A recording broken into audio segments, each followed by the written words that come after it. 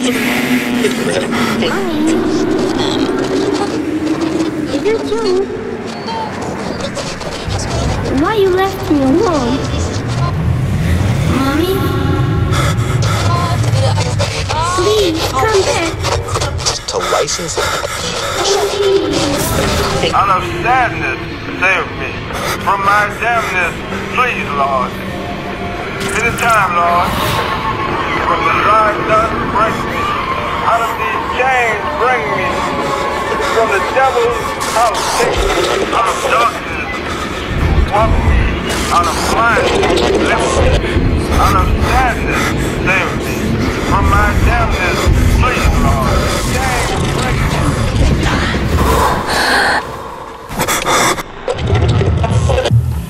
Línea paranormal.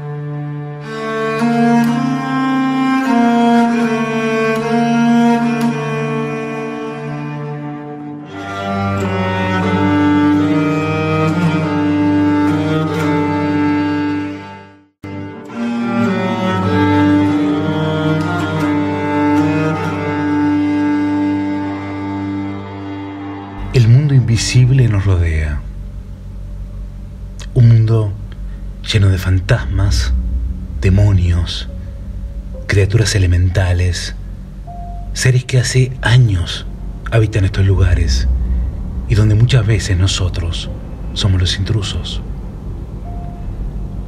A veces los vemos porque se manifiestan en un determinado momento, ya sea en una parálisis de sueño, a las 3 de la mañana, o al mediodía a pleno sol, ya que no tienen un calendario ni un horario. Ya sean casas viejas o nuevas, donde haya muerto alguien o no, lugares que han sido revestidos de dolor y sufrimiento, dejan una marca que tarde o temprano nos termina encontrando, ya sea un parque o un cementerio. Esta marca muchas veces atrae a las criaturas de la oscuridad, estas que se alimentan de nuestro miedo y lejos de ser algo que imaginamos, es más real de lo que se cree. Algunos crecimos con esto. Fue parte de nuestras vidas desde muy temprano. De muy pequeño me despertaba la madrugada porque al lado de la cama aparecía algo que tenía una forma de remolino de nubes oscuras y grises. Giraba sin parar a mi lado y me despertaba. No hacía nada, excepto aterrorizarme. Con el tiempo aprendí que lo que sentía no era un sueño, sino que era parte de esa realidad invisible que me rodeaba. Y con el tiempo me di cuenta que en esto no estaba solo. Éramos muchos los que vivíamos lo mismo o cosas parecidas. Había algunas personas más sensibles a otras. Veían el mundo invisible con mucha claridad, como quien observa a alguien caminar por la calle. Muchas veces era así, solo que quien estaba caminando no estaba vivo. Solía estarlo, pero ya no. Después estaban los que nunca estuvieron vivos, y eso sí que dan miedo. A veces se les llama demonios, en otras culturas tienen otros nombres, pero en lugares como en la ciudad habitan más los demonios que otro tipo de entidad. Seres negativos por naturaleza que nunca tuvieron forma humana. De esos vi muchos, algunos eran horrendos y otros eran tan perfectos que esa perfección generaba algo incómodo, como cuando alguien habla de Lucifer y de su belleza. Y como este caso, cientos de casos más. No había mejor manera de dejar entrar a algo negativo que juzgarlo por su belleza. Y ahí estaba la trampa. O muchas veces era alguien que lucía como una persona a quien conocemos, pero no era ella. Y la sensación al encontrarla era de puro terror. El tiempo pasó y uno empieza a ponerle nombre a lo que vivió. Y sabe que eso tan feo que vio de niño, con un sombrero, una sonrisa horrible y un traje, otros también lo veían. Y se llamaba justamente el hombre del sombrero, por ejemplo. También vi cómo la magia blanca y la magia negra nos rodeaba y que cada cosa que alguien hacía tenía una consecuencia, empezando por lo que me rodeaba. Mi casa y algunas de las que viví tenían vestigios de algún ritual realizado ahí y por consiguiente existía una actividad que a esta altura ya sabía que se llamaba paranormal. Muchas historias de estas las he contado. Contar historias es una manera de explicar este mundo. La ficción muchas veces no es tal y nos está mostrando cosas que de verdad suceden. El Exorcista fue una película basada en un hecho real y todo cambió cuando me encontré un día con un exorcista y con una persona que estaba poseída. Todos vivimos algo. Todos tenemos una historia para contar. Y si no les pasa a ustedes, les pasó a alguien cercano. Pero lo peor de esto es que muchos que han vivido estas experiencias en el mundo paranormal no pueden contar con nadie. A veces ni siquiera con su familia, ya que el escepticismo ajeno nunca ayuda. Y en muchos grados, este escepticismo destruye. A veces es el objetivo de muchas entidades, que dudes de vos y de que los demás también duden de vos. Hoy no voy a contar una historia, hoy las historias la cuentan ustedes. El nombre en línea paranormal justamente hace referencia a un oído donde lo que digas no va a caer en el saco de la indiferencia, porque sabemos que es real. La idea de quien investiga esto es ayudar. Y he descubierto, y muchos de nuestros seguidores y oyentes lo pueden atestiguar, que muchas veces al contar nuestro infierno, este se calma o desaparece. Dicho de otra manera, hablar de tus fantasmas o de una casa embrujada en donde estás viviendo ahora genera algo que hace que se calme.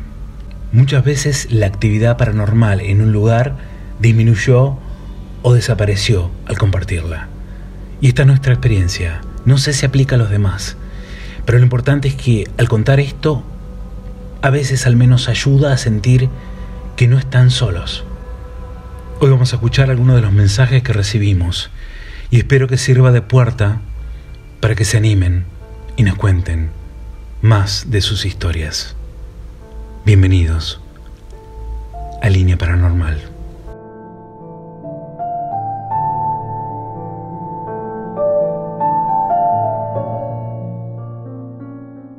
Hola Rodri, ¿cómo estás? Mi nombre es Joana y quería contarte mi experiencia de niña, que crecí en una casa con cuatro entidades. La primera de ellas eh, se me apareció cuando era muy pequeña, me acuerdo una noche que no podía dormir y me fui a la habitación de mis padres y cuando me despierto en la madrugada estaba parada al lado de la cama. Era un hombre muy viejito, de forma calavérica, muy flaquito, con, con un traje y con, eh, con un sombrero, me acuerdo, que estaba mirando cómo dormíamos nosotros. La segunda entidad le gustaba estar en el living. También era un hombre, un hombre de por lo menos unos 40 años. Eh, me acuerdo que yo me levantaba y cuando a las madrugadas me iba al baño, Siempre que pasaba por ahí lo veía con el rabillo del ojo y cuando me daba vuelta a mirar no, lo no desaparecía. Hasta que una noche me di vuelta, miré y ahí estaba, sentado, mirando fijamente, sentado, le gustaba sentarse exactamente donde mi papá se sentaba. Era un, un ser muy, muy oscuro, muy oscuro, que daba, me dio mucho terror. Tanto que recuerdo que me metí eh, en el baño, lloré durante como una hora porque no quería que, mis papás salieran de la habitación o, mis hermanos. Tenía mucho miedo y tardé como una hora para volver a, mi habitación. Y la tercera entidad estaba precisamente en mi habitación. Durante muchos años se manifestó de distintas maneras. Eh, me acuerdo que cuando dormía me destapaba eh, o sentía que me tocaba, me tocaba la mano, me tocaba el pie, eh, corría las cosas del lugar. Hasta que una noche recuerdo que me agarró del pie del pie izquierdo y me arrastró hasta fuera de la cama. Quedé literalmente colgando, con los pies colgando, a la altura de las caderas. Fue el grito más desesperante que pegué, que eh, mi hermana, que estaba conmigo en la habitación, prendió la luz y me vio, y mi mamá entró y no podían entender lo que me había pasado. Con los años después vi esa entidad, me acuerdo que eh, entro a mi casa y la puerta de mi habitación estaba abierta y la vi pasar lado al otro de la habitación. Era una chica. Una chica de adolescente o unos 18 o 20 años aproximadamente, de pelo largo, pelo negro. Eh, y la cuarta entidad estaba en la habitación de mi hermano. Era muy... eh, cuando estábamos con mi mamá, siempre estábamos en la cocina o, o está- estábamos por ahí, la escuchábamos cómo caminaba.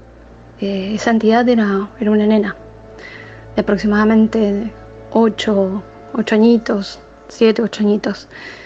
Me acuerdo cómo escuchábamos cómo correteaba por la habitación y después corría, le gustaba correr por las escaleras. La habitación tenía piso de madera y la escalera también era de madera. Y subías a la habitación y no había nadie. Era, la, era esta niña. Eh, estas cuatro entidades siempre nos acompañaron, no solamente se me aparecieron a mí, sino también a mis hermanos y a mi mamá.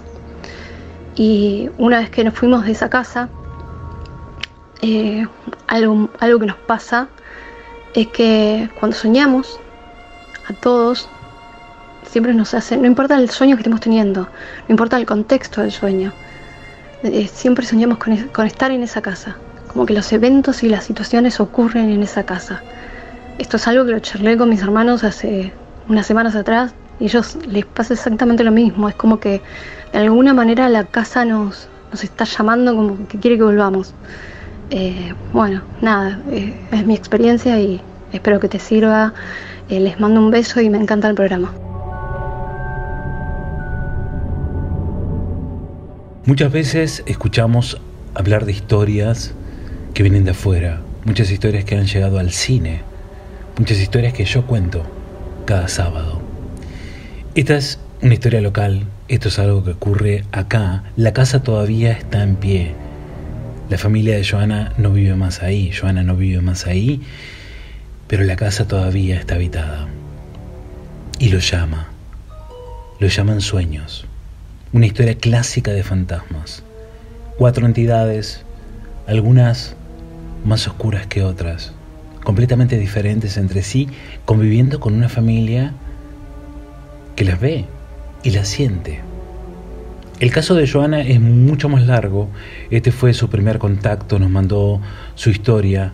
Quizás en algún momento vamos a hablar con ella para que nos cuente el resto de todo lo que ha vivido ella y su familia en esta especie de casa embrujada, de esta casa fantasma, donde los habitantes que están ahí no solo hace mucho tiempo no están vivos, sino que de alguna manera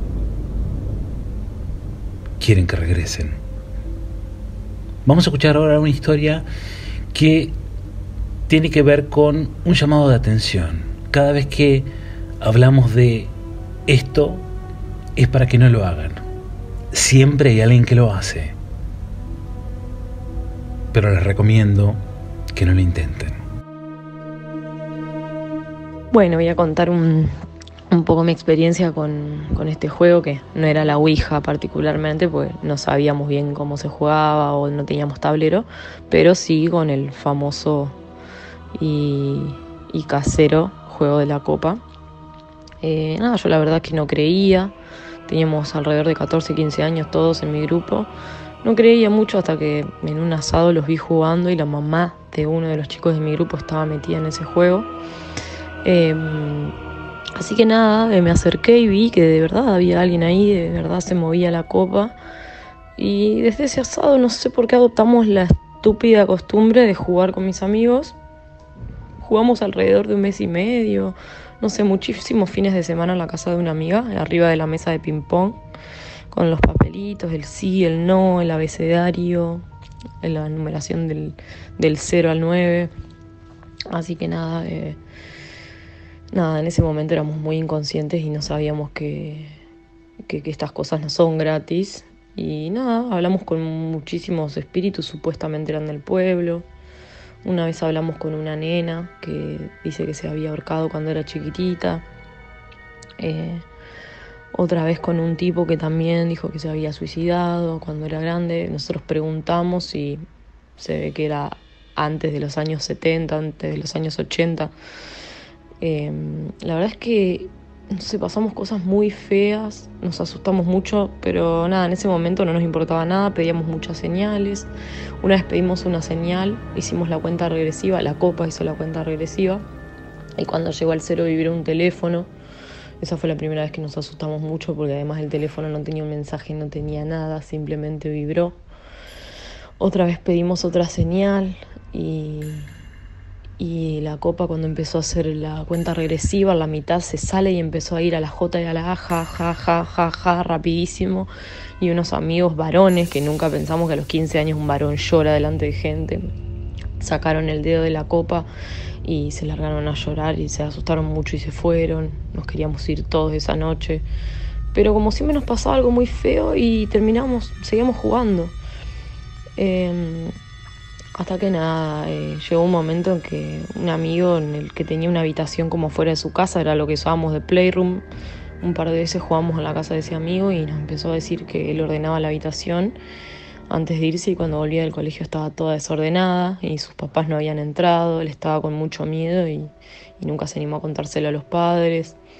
Así que nada, la verdad es que nos empezó a dar un poco de miedo, por suerte y nos empezó a costar a dormir algunos, eh, que estábamos como muy enviciados. Y nada, hicimos una promesa de no jugar más. Eh, ah, además, todos los que, con los que hablábamos nos decíamos cosas que habíamos hecho la noche anterior, a quién habíamos visto, con qué chica te habías visto vos, en qué pueblo habías estado vos. Todas así hacíamos preguntas y ellos las contestaban, como que sabían de nosotros.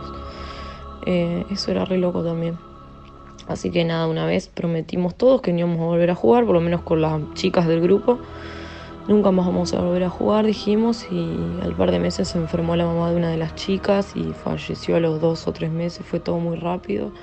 Y como que nada, medio que siempre nos quedó la duda si, si habíamos provocado eso, no creo o no lo sé, pero nos asustó mucho esto de, de andar jugando a eso y tomamos conciencia y hoy tengo casi 30 años y la verdad que nunca más volví a jugar. Pero sí hay que entender que lo que no está acá está en otro lugar, no hay que llamarlo, hay que dejarlo tranquilo donde está. Realmente eh, yo nunca más volví a jugar y no creo que vuelva a jugar.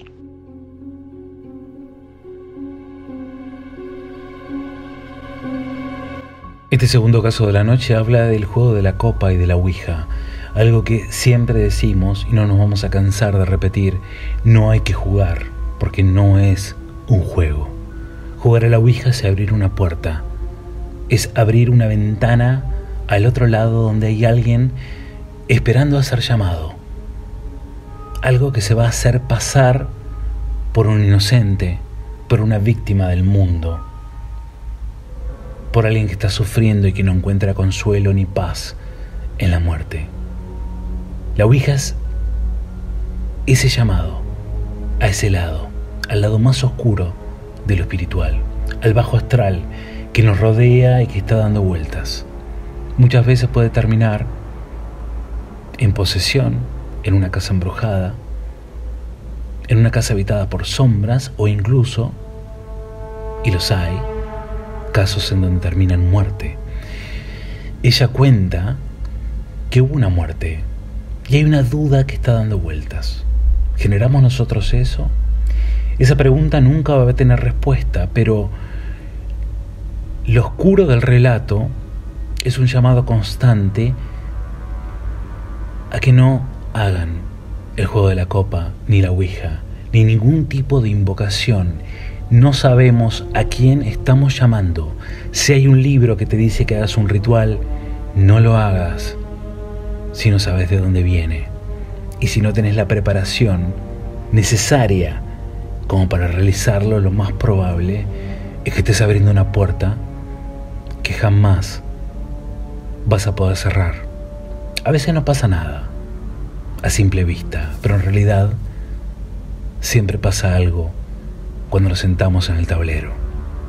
Y este caso es uno de miles que siguen sucediendo porque el juego se sigue intentando. El tercer caso de la noche es de alguien que es amiga de la casa. Gabriela puede ver cosas y si no escucharon nunca este caso presten atención porque en la mitad del relato ocurre algo.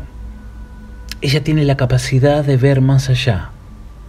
Mientras nos estaba mandando el mensaje, en la mitad del relato se cruzó un fantasma. Presten atención a ese silencio que hace antes de continuar hablando, porque ese es el momento en donde algo aparece. Y no solamente eso, sino que si prestan atención, lo pueden escuchar. Hola Rodri, mi, nombre es Gabriela. Bueno, te cuento que mis experiencias paranormales empezaron más o menos cuando tenía 8 años, eh, junto con mi hermana. Las dos veíamos y escuchábamos exactamente las mismas cosas. A la noche eh, se movían las sillas, golpeaban las alacenas.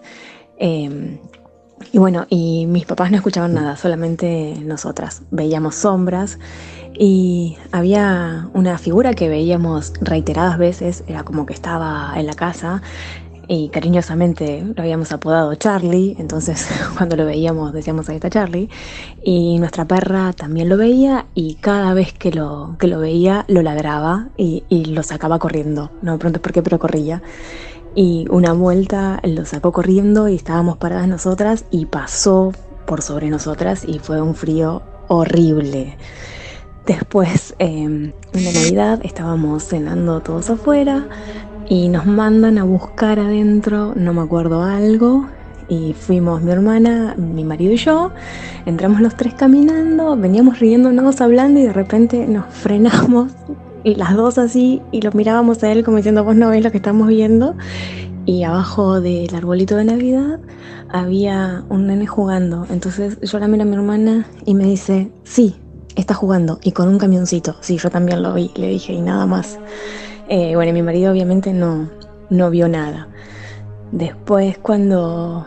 Otra, otra experiencia que me acuerdo cuando fui mamá, eh, teníamos la camarita y el monitor en la pieza del bebé y a la noche, em, a veces yo miraba y veía arriba de la cuna unas lucecitas eh, blancas que merodeaban hacia a, a, mi bebé.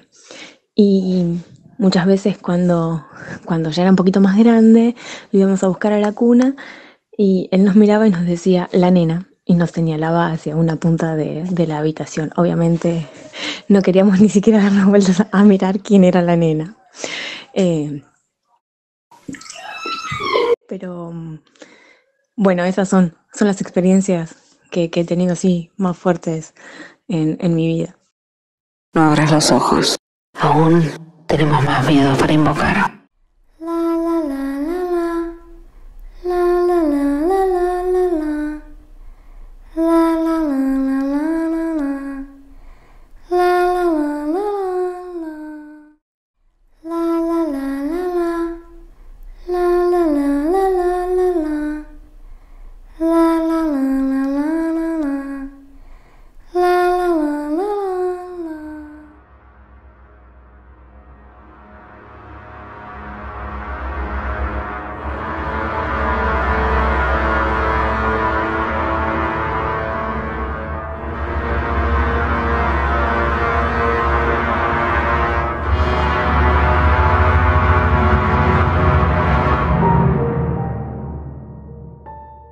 Relato de Gabriela es una de las historias más icónicas que hemos recibido en línea paranormal, por todo lo que ha pasado en su relato y durante el relato.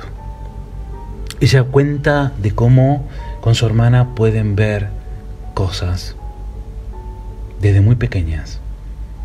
Da un dato muy importante que siempre lo, lo comento y lo llevo a charlas y lo llevo a diferentes casos. Los animales pueden ver.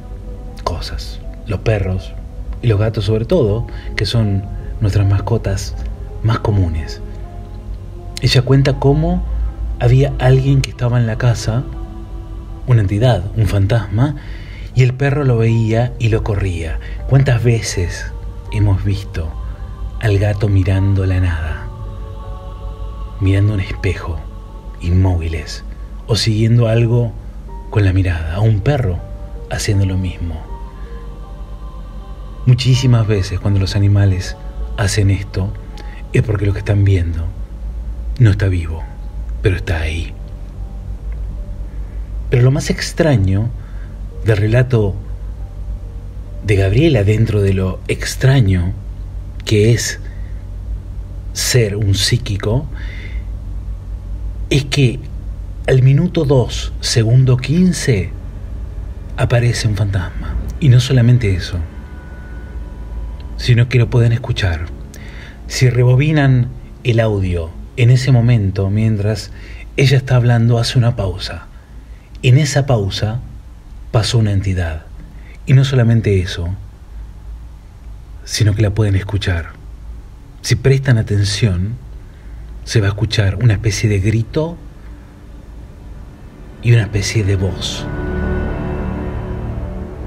Al oírlo directamente parecía que era parte de algo que ocurría en la casa, pero rápidamente descartamos esa posibilidad porque ella y el marido nos dijeron que nada había en la casa y que todas las puertas estaban cerradas y coincide exactamente con la aparición de la entidad cuando ella nos estaba mandando este mensaje a nosotros. Ahora vamos a escuchar el caso de Miguel. Esto nunca salió al aire, nunca lo pasamos en la radio y no lo pasamos en ningún programa. Es un caso exclusivo y único donde Miguel nos cuenta una experiencia que normalmente no la cuenta, pero que fue muy importante en su vida. Presten atención a lo que nos cuenta.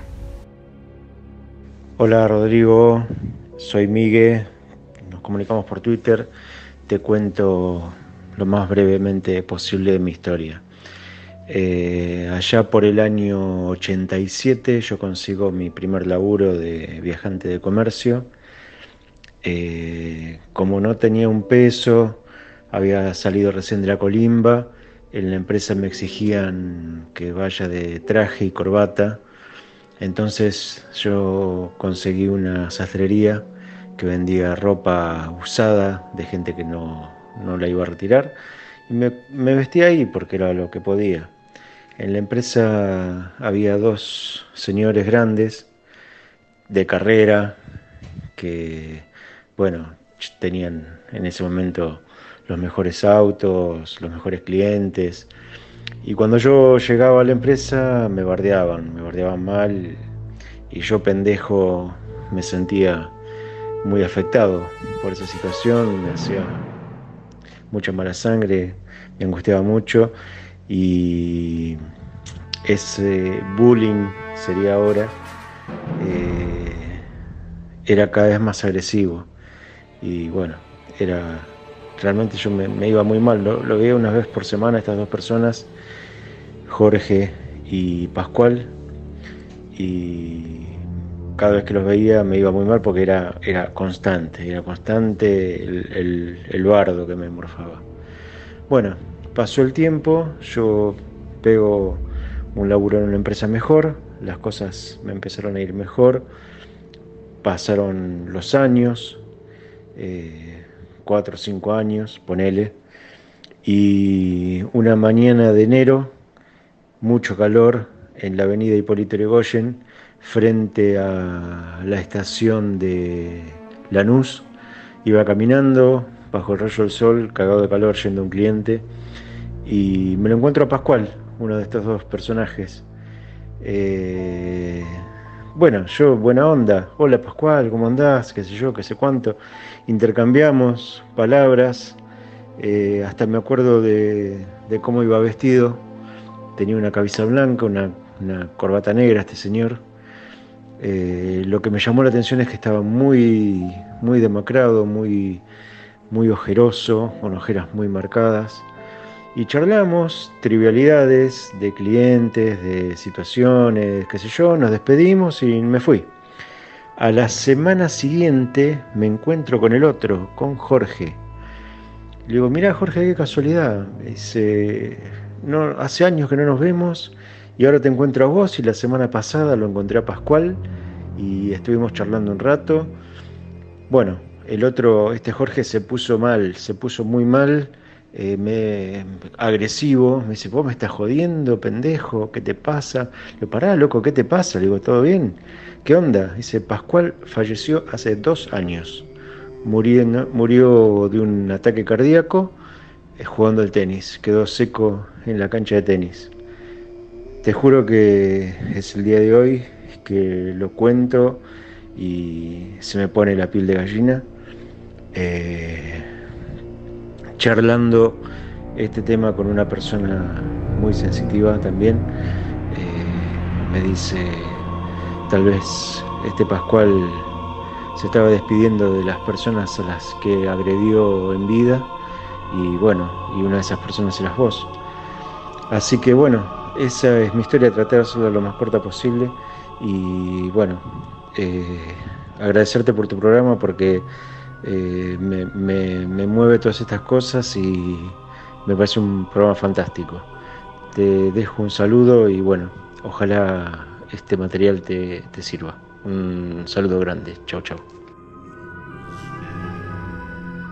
Muchas veces los muertos pasan a saludar, muchas veces vienen a darnos un mensaje, muchas veces vienen a saldar una deuda o a pedir perdón por algo que no los deja descansar que quizás para uno sea algo muy simple o muy tonto, pero para ellos sea una culpa que deban purgar, un peso del cual deban deshacerse para poder elevarse. El caso de Miguel, con lo que nos cuenta, habla de eso. De hecho, él pregunta a alguien que tiene el don y la sensibilidad qué fue lo que pasó y le dice exactamente eso él pasó a despedirse y lo vio quizás como lucía antes de morir. Se dice que los fantasmas conservan la imagen de cómo ellos se recuerdan a sí mismos y así es como nosotros los vemos. Y ahora vamos a escuchar el último testimonio de la noche, un testimonio muy especial que es el de Seba. Algunos quizás lo escucharon y algunos lo recuerden. Sebastián tiene una hija que ve cosas. Y muchas veces lo que nosotros no podemos ver nuevamente termina mostrando su cara. Y a veces no es su mejor cara.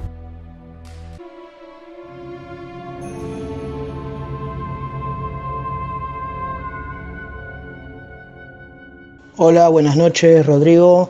Eh, mi nombre es Sebastián y bueno, te voy a contar la historia, la primer parte de la historia que se llama Sofía la amiga invisible.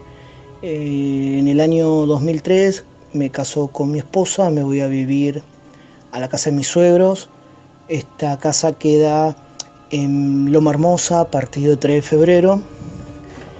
Eh, en el año 2002 fallece mi suegro, y en el 2004, en septiembre del 2004, nace mi hija. Bueno, en el año 2006, em, eh, precisamente el 10 de octubre, que fue es, en octubre del 2002 fallece mi suegro, y en octubre del 2006 em, mi suegra tiene la, idea de, de, ir a visitarlo al cementerio, ¿no? Bueno, Vamos con, mi esposa, con mi hija, mi suegra, vamos a, la tumba y bueno, nos, nos despejamos dos segundos de la nena, pues nos pusimos a arreglar la tumba de mi suegro, todo. Y mi hija eh, empieza a correr eh, por, ahí por entre las tumbas y a reírse, ¿no? Y nosotros la llamábamos, Paula, vení, vení, no, papá, que estoy jugando con los nenes. Eh, de ahí a metros donde estaba sepultado mi suegro, empezaba todas la, la, las tumbas de, lo, de, niños, ¿no? De niños enterrados, bebés, chicos chiquitos de 4 o 5 años, se veían las fotos, ¿no? Eh, mi hija jugaba, decía que estaba jugando con los nenes. Bueno, eh, a partir de, de, ese año 2006 en adelante, eh, mi hija empieza a tener amigos imaginarios. Eh, empieza en, la casa de mi suegra eh, a jugar con una nena que se llama Sofía. Eh, esto empezó eh, jugar en el patio, en el comedor, en el dormitorio de ella.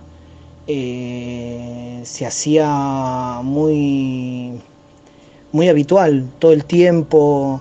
Eh, prácticamente mi hija de noche no dormía, pues se la pasaba riéndose.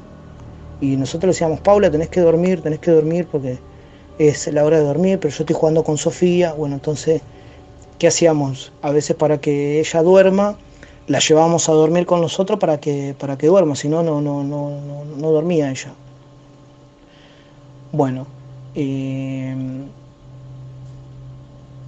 entonces teníamos todo esto de, de, que yo quería que, que, la, que, la, vea un psicólogo, porque yo para mí mi hija se estaba, se estaba volviendo loca, ¿no?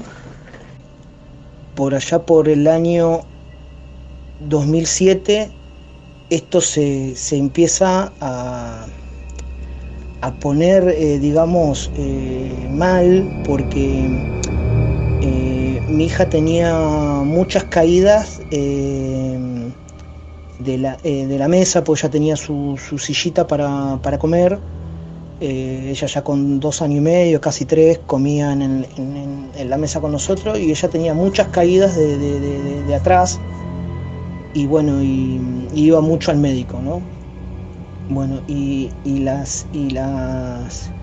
Ella empezó el jardín y como se llama, bueno, y a sus maestras le contaba que ella jugaba, que no tenía hermanitos, que, que su hermanita era, era Sofía, que era, que era su amiga imaginaria.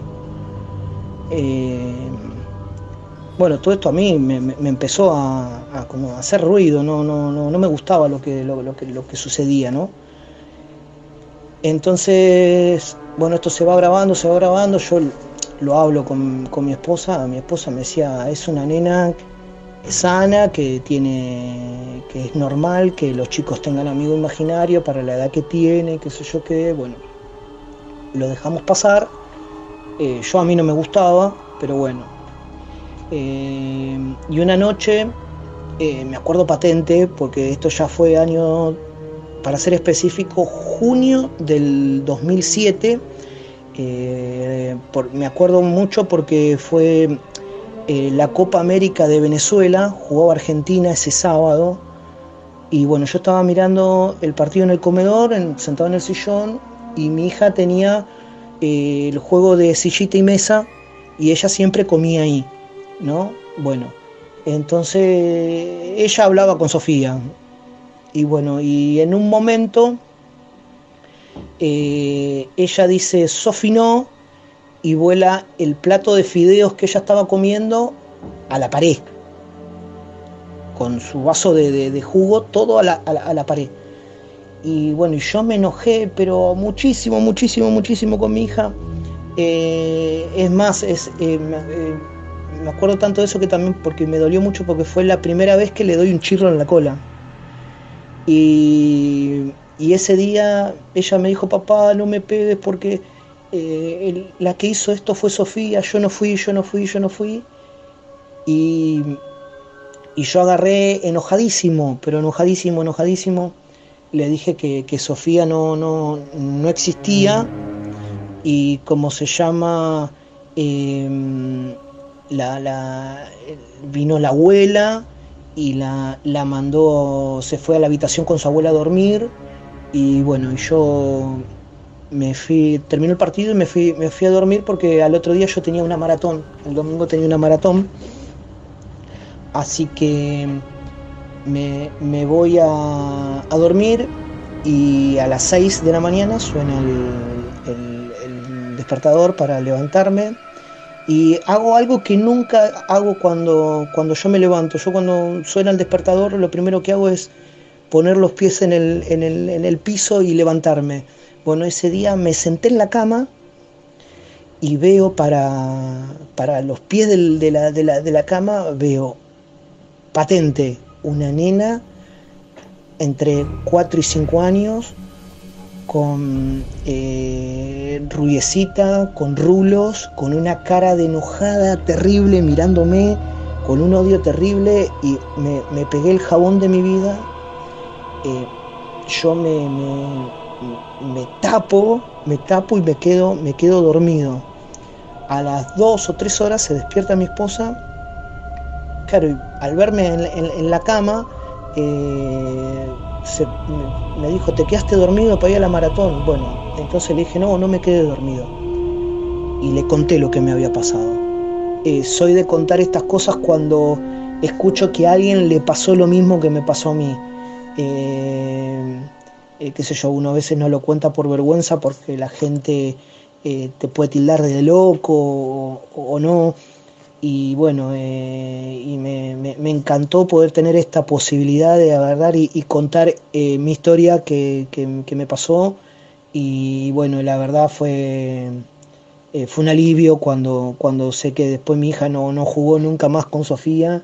y bueno, y, y después tuvo una vida normal porque siguió jugando con, ya con sus amiguitos en el jardín, todo. Hoy tiene, va a cumplir 16 años y cómo se llama, y bueno, y de esto de ella no, no se acuerda nada.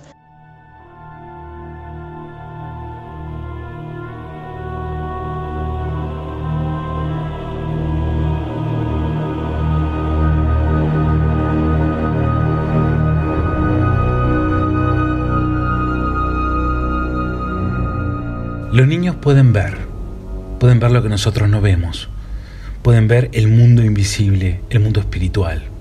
A veces son realmente amigos imaginarios que construyen y otras veces los amigos imaginarios son más reales de lo que creemos. En el caso de Sebastián y su hija, su amiga imaginaria terminó mostrándose ante él, enojada. No mostró su mejor cara. Y Sebastián se pegó el susto de su vida. Muchas veces cuando los chicos dicen ver algo es porque realmente están viendo algo. Esas veces que se despiertan a una determinada hora de la madrugada y se empiezan a reír o están en el piso jugando en el medio de la oscuridad, es porque están interactuando con el mundo espiritual que nos rodea y que de imaginario no tiene absolutamente nada.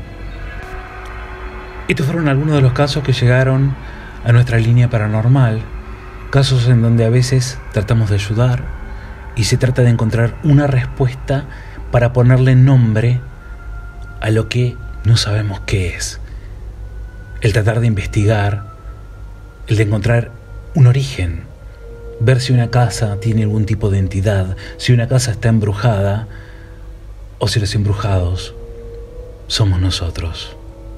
Si les pasó algo parecido a esto, nos pueden escribir al 11 23 89 2401 o nos pueden dejar sus casos en arroba línea paranormal y vamos a charlarlos y vamos a tratar de encontrarle una causa y una solución. Soy Rodrigo García Ferreira y esto fue Línea Paranormal.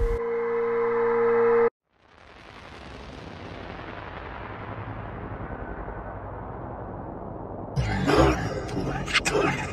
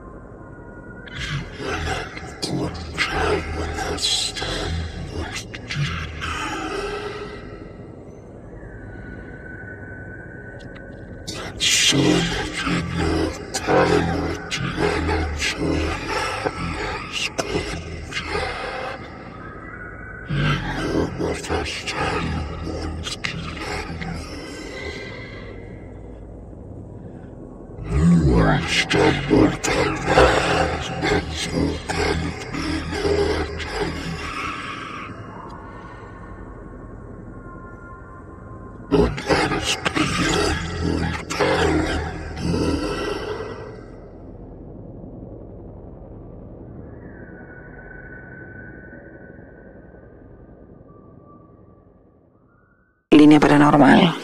Llevando luz a la oscuridad más profunda.